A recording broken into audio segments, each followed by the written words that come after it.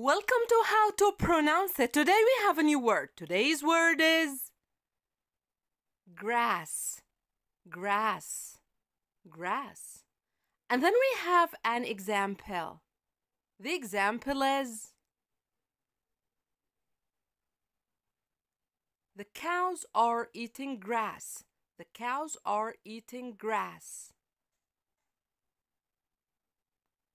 Don't forget to like the video, subscribe our channel. See you the next video. Goodbye.